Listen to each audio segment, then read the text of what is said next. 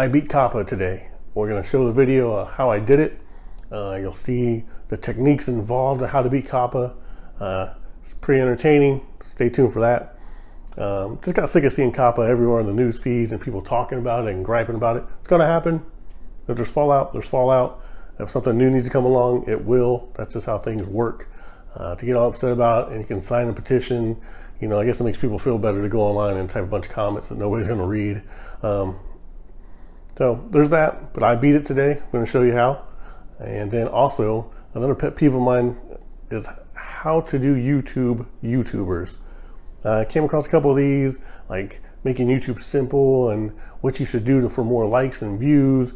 So I was like, because I'm new to this, I was like, ah, and then, so I looked into this one.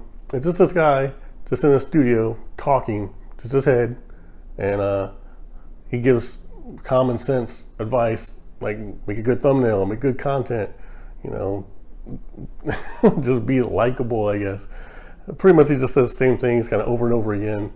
So I was like, okay, so this has got to be just a side thing because he's successful on YouTube, probably, right? What does he do? What what content does he create? He just like doesn't have anything. I look on his uploads. All it is is tons of these videos of like how you should do your YouTube.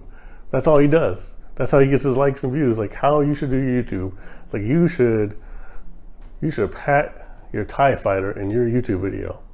You'll get more likes. I mean, it's just it's ridiculous. Uh, anyway, back to beating COPPA. Here we go. And after the video, probably get a bunch of uh, thumbs down and dislikes, but whatever. Enjoy.